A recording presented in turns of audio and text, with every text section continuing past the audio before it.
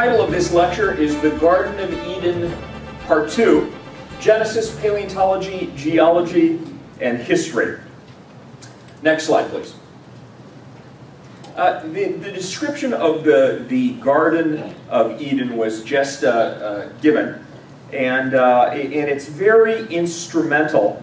Um, we, uh, we read through it in the, last, uh, in the last lecture, but in this lecture I just wanted to point your, to your attention associations.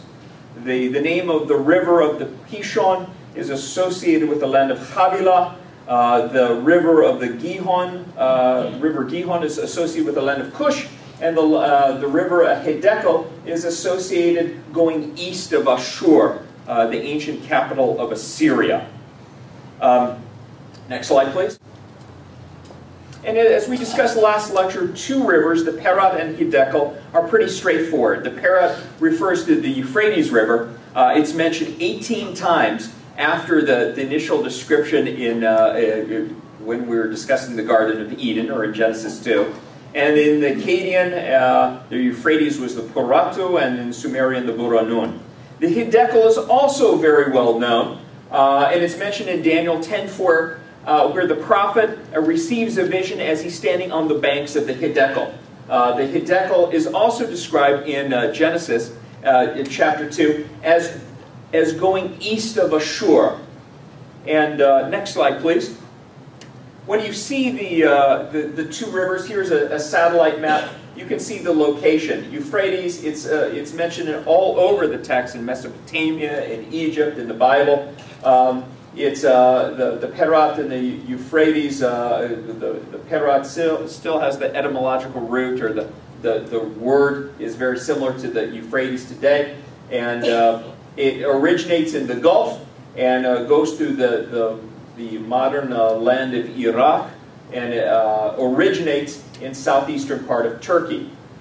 Also, uh, remember what we were just discussing, that the uh, Hiddekel was the one going east of Ashur. Ashur is the ancient capital of the Assyrian Empire. As I mentioned last lecture, even though that the Assyrian kings moved their uh, uh, um, capital to Nineveh, they still had, they always mentioned that they were providing the temples of Ashur, kind of the birthplace of their uh, uh nation, with, uh, with uh, gold and adorning it with precious stones.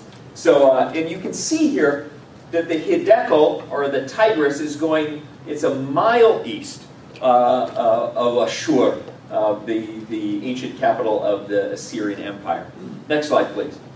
Then we talked about the Pishon, and the Pishon is only mentioned in the, the Garden of Eden account, and then afterwards disappears from the Bible. It's not mentioned again. But what is mentioned is there the correlation between the Pishon and the, the land of Havilah.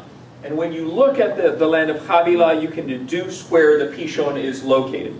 There's, we discussed several uh, very clear references. The first is in Genesis 25, 18, where Ishmael, uh, the, sons of Ishmael extend in the line, live in a line from Ashur to Havilah. And we know Shur, uh, Shur is, uh, or the, the wilderness of Shur, is right next to Egypt in the northwestern uh, part of the Sinai Peninsula because the, of the constant reference to Al Pinei Mizraim, on the face of Egypt.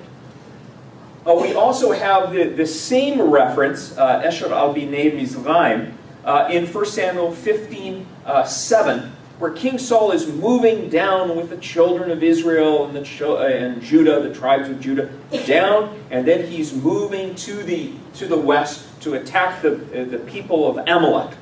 Um, and uh, uh, so in order to move down and then east, he has to go through the northwestern part of the Sinai Peninsula.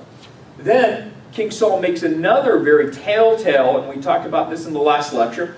Uh, he warns the Kenites, you know, go depart, go out from the midst of Amalek, lest I destroy you with them. And the Kenites are located uh, in the northwestern part of the Sinai Peninsula.